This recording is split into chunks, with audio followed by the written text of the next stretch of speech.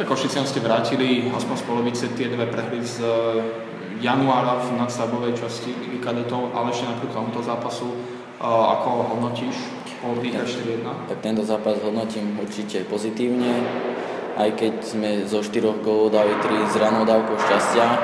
Ich nepodržal až tak brankár, na druhej strane nás podržal celkom dosť a už v prvej tretine ste mali 20 striel celkovo za zápas, 43 striel, čo je pomerne vysoké číslo.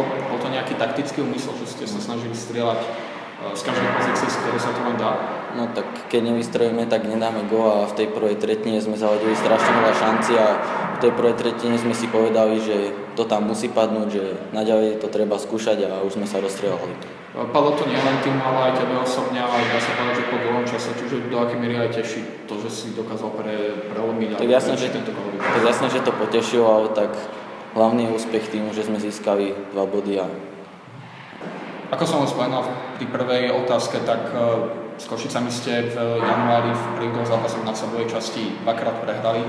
Tento raz ste však boli úspešní vy, čiže by si mohol porovnať ten dvoj zápas januára, v čom sa vyšiel proti tomu dnešnému zápasu. Ja v Košiciach sme nastúpili v úplne inej zostave. Myslím si, že to hralo trochu úlohu, ale tak každý zápas je iný. Dneska sme sa nabudili na ten zápas, lebo že ak chceme zabojovať do toho majstra, tak nemôžeme prehrať a už musíme len všetko vyhrávať. K tomu sa tiež chcem dostať. E, ten súboj o titul alebo, alebo obhajbu titulu, štvrtý titul v rade v tejto kategórii nemáte už vo vlastných rukách, čiže musíte sa spoliehať na výsledky superov. Sledujete to alebo snažíte sa tým nejako nezaťažovať a stále hrať si svoje?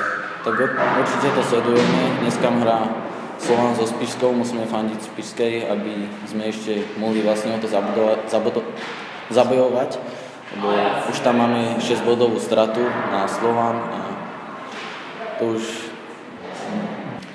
E, toto bol váš už 7. zápas na celej časti doma a zatiaľ ste 100%, nestratili ste tu ani jeden bod. Čo za tým hľadať? E, skutočne sa tie zápasy doma hrajú vám ďaleko lepšie, než keď ste na superových klasiskách? Tak doma aj doma sa nám hrá určite na našom ihrisku lepšie ako na superovom.